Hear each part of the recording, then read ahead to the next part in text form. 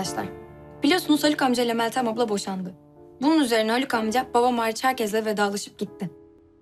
Uzun süredir babamla Haluk amca konuşmuyor. Çocuk gibi birbirlerine küstüler. Hiçbirimiz nedenini bilmiyoruz. Belki Haluk amcanın gideceği gün barışırlar dedik ama beklediğimiz gibi olmadı.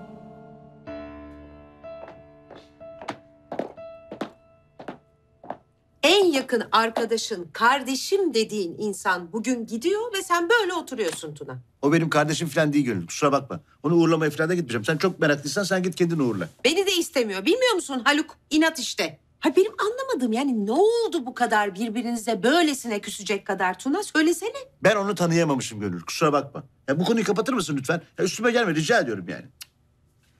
Peki nereye gittiğine dair bir fikrin var mı? Hayır bilmiyorum. Ne, ba- bana ne ayrıca nereye giderse gitsin.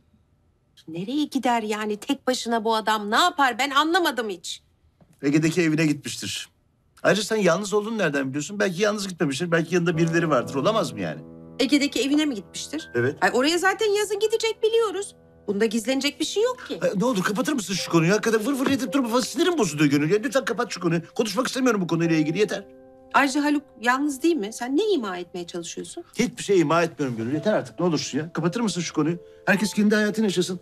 Ya bizim de bir hayatımız var. İsim verirsen biz de kendi hayatımızı yaşayalım. Rica ediyorum yani. Duymak istemiyorum adını. Haluk amca ile babam bu hale nasıl geldi hiç bilmiyorum. Ama öğreneceğim. Ama bu sefer işim biraz zor olacak çünkü Gönül abla bile babamın ağzından laf alamadı. Babam hayatında ilk defa ser verip sır vermiyordu. Ve açıkçası hepimiz bu büyük dostluğun nasıl bittiğini çok merak ediyorduk. Düşünsenize Haluk amca buralardan gitti. Belki de bir daha hiç dönmeyecek. Ve babam onu uğurlamaya bile gitmedi. İnanılır gibi değil. Bu sırada Haluk amcanın nereye gittiğini de hiçbirimiz bilmiyoruz. O da ayrı bir merak konusu. Her nereye gidiyorsa tek başına mı gidiyordu yoksa yanında başka biri var mıydı bilmiyorduk.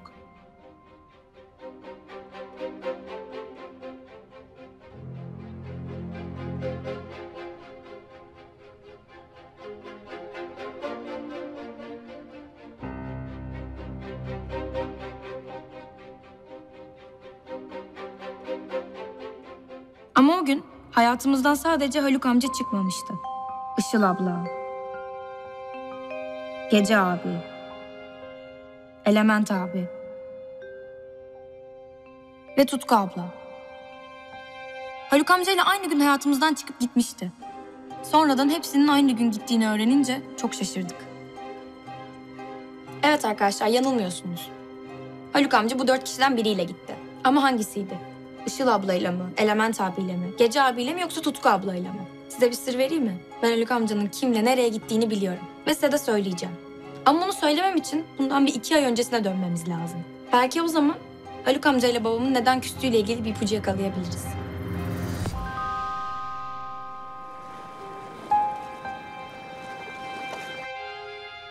Haluk amca kaybolduğunda Zeynep'i bulan kişinin Tutku abla olduğundan habersizdi. Bu konularda çok hassas olan Haluk amca, iyi niyetli olduğunu düşündüğü için yüz yüze teşekkür etmek istemiş ona. Tabii karşıda çıkacak olan kişinin Tutku abla olduğunu bilmeden. Alo Tutku neredesin? Ya İremcim gelmek üzereyim yoldayım canım. Ya Tutku Haluk Bey'le karşılaşmak istediğinden emin misin? Evet İrem çok eminim. Endişelenecek bir şey yok sen de rahat ol lütfen. Ay bilmiyorum Tutku yani acaba önden bir konuşma mı yapsaydım ben? Bir hazırlık yapsaydık böyle pat diye karşısına çıkıp özür mü dileyeceksin yani? Ay, İremcim hazırlığa ön konuşmaya falan gerek yok. Merak etme Haluk Bey seni sandığın kadar kötü karşılamayacak beni. Ya nasıl kötü karşılamayacak Haluk Bey'den bahsediyoruz ya. İlahi İrem.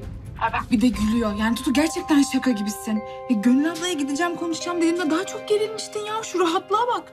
Hayatım kendimden çok eminim. Korkacak, çekinecek bir şeyim yok artık. O yüzden rahatım. Haluk Bey seni görüp böyle kovduğunda bakalım bu kadar rahat olabilecek misin Tutku?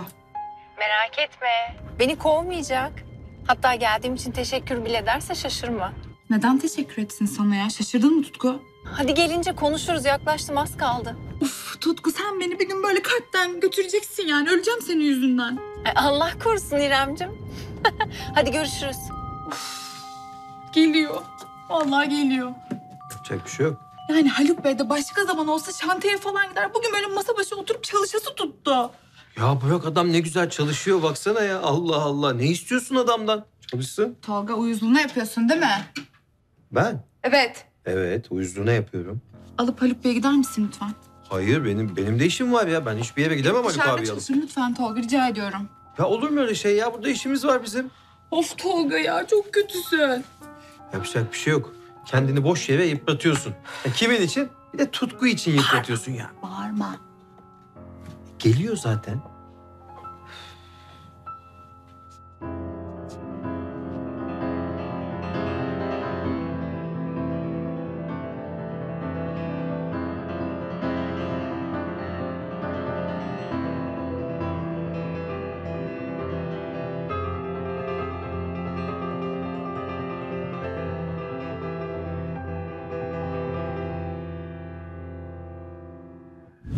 Meltem bak sana hatırlatayım.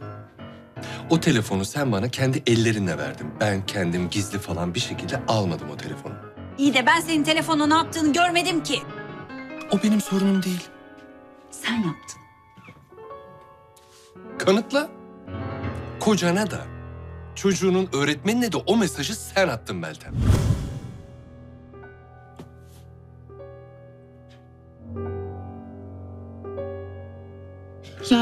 Tutku Haluk Bey'in karşısına çıkmak istediyse bugün vardır bir bildiği. O düşünmeden hareket etmez ama ne yapayım korkuyorum. Ve hayatım korkunun ecele faydası yok ki. Bak ben sana bir şey diyeyim mi? Tutku geldiği zaman sen de ben de burada olmayalım. Çok sağ ol Tolga'cığım içime su serptin vallahi. Ya o sana da iyilik yaramıyor ha. Ya ben niye uğraşıyorum ki tutku mutku falan ya? Benim zaten işim başımdan aşkın. Haluk abi anlamadan şu ev sahibiyle işi çözmem gerekiyor. Vallahi sıkıntı olacak, kriz çıkacak ya. Ya asıl kriz Tutku geldiğinde çıkacak. Senin haberin yok. Hala kiralık evle uğraşıyorsun. A- Alo. Ha? Muzaffer Bey merhabalar. Nasılsınız? Ha çok sağ olun. Teşekkür ederim. Ya ben sizi... Ah! Şuradayım ya Tolga burada. Ya ben sizi şeyden aradım. Hüseyin abiler için özür dileyecektim sizden de ya. Ne oldu sana? Annem bir şeyim yok yani Fräulein Var var olmuş bir şey söyle. Ha, sana söyleyemem. Neden? Ha, utanırım çünkü ben. Tövbe. Niye? Ha, işte ya ben Haluk Akıl'la konuşmam lazım bunu. Ha. Ee, evet bence de çok güzel fikir. Sen Haluk Ankıl'la konuş. Hatta de ki özel bir görüşmede al Haluk Ankıl'ını dışarıda konuşun. Ha, ben dışarı mı götüreyim şimdi Haluk Akıl? Evet Haluk Ankıl'ını al dışarıya gidin özel konuşacağım seninle de. Hadi. Hadi git al. Şimdi mi yapayım ben ya? Evet şimdi al Haluk Ankıl'ını dışarı gidin element. Hadi Bu çabuk. kadar yok. Ya, tamam. Hadi Ha, Haluk Akıl alıyorum ben. özel bir konuşma de. Haluk Akıl.